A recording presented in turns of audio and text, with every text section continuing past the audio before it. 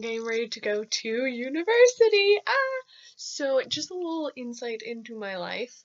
Um, this thing right here is from Taiwan. It's actually like a grocery bag. I clipped it out of a grocery bag from Taiwan. I didn't go there, but I want to. So that's like my emblem of I will get there. Um, so a little bit about me. I am 22 years old. I did, once I graduated high school, I did not want to go back to school. I hated high school. Not that that's a weird thing, because I hear a lot of people hate high school, but um, I just, ugh, was awful. Um, but so once I graduated high school, I was like, never again. And so I traveled to China for six months and I was an au pair there. That was super fun, like amazing experience. I just loved the people and and learning the language and the culture and everything like that. It was really amazing. Um, and then from there, I actually served a mission for my church. And so it's the Church of Jesus Christ of Latter day Saints. And I sorry, I might have slurred that because I kind of run over the words of our church very fast because it's long.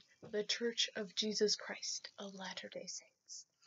Um, but I served for 18 months, so a year and a half, and I served in Colorado, Colorado Springs, which was really fun. I was actually called to Taiwan, hence that, um, but then my visa never came through, so I went to Colorado, which it was still like serving a mission for your church, no matter where you go, you're going to be um, working with people, you're going to be helping people grow closer and um, grow in spirituality and grow closer to Christ, that kind of thing. Um, so it's it's rewarding no matter where you are. Um, but I am a big culture and language fan. I love learning languages, like little tidbits from people that I pick up as I travel. I just love that kind of stuff. Um, so when I got home from school, I was actually not from school, from my mission, I was actually planning to be a massage therapist. That was like my goal ever since I graduated high school, um, all the way till the end of my mission. I was like, I'll be a massage therapist. And then the school that I wanted to go to, I applied for, and part of the application process is they have you go through or go to the school and attend a class just to like feel it out and they have you attend a couple classes.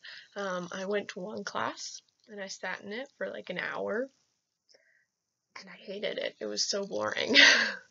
So i decided not to do that. Um, so then that set me on the path to finding what i'm doing will be doing now which is international studies which really is my passion like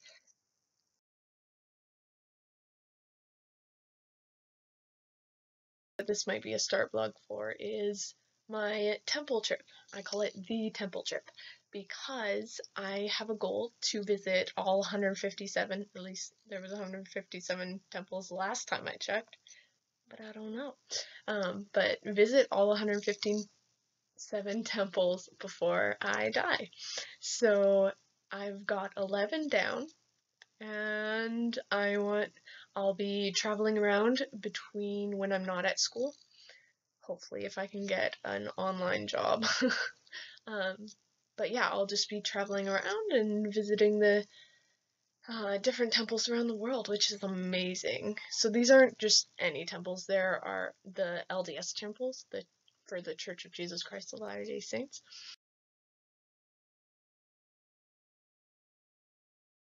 But it's really like preparing yourself and like preparing yourself in your life so that you can visit God pretty much. That's the idea. Um, is preparing to meet God. Which is really cool. I really like that idea. Um, always preparing to meet God.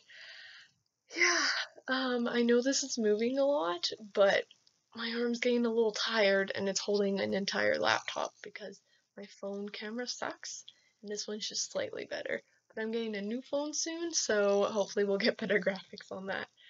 Um, yeah, but thank you for tuning in. This is Dani, maybe. I don't know what I'll call myself online. Danielle, that's my name.